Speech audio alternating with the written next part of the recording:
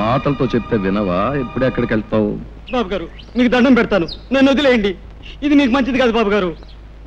మంచిది కానిది బాబు ఏమి గారు వరదలో చీళ్ళు కొట్టకపోయినప్పుడు తాడి దూలాలు డబ్బులు మీరే ఇచ్చారు.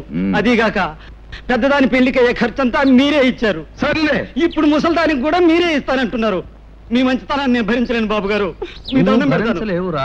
రేపు ఆ ముసిల్ది చస్తే ఏ పొరుగు రోడైనా ఎందుకు చచ్చింది అంటే అది కాదు బాబు గారు. మందు ఇప్పించలేక అని నువ్వు చెప్తావు. నరసింహం గారు బ్రతికుండగానే ముసిల్దానికి కర్మ వచ్చిందా అని ఎవడైనా అంటే నేను భరించలేను రా, నేను తలకాయ లేదు బాబు గారు. ఎత్తుకోలేను నోరు ఎత్తావా లెంపకాయలు తింటావు. ఇదిగో ఇంటికి నాడు మూడు వందలు ఇస్తాను ముసిల్దానికి వైద్యం చేయించు. ఆ, వద్దు, వద్దు, వద్దు, వద్దు. తీసుకుపోతా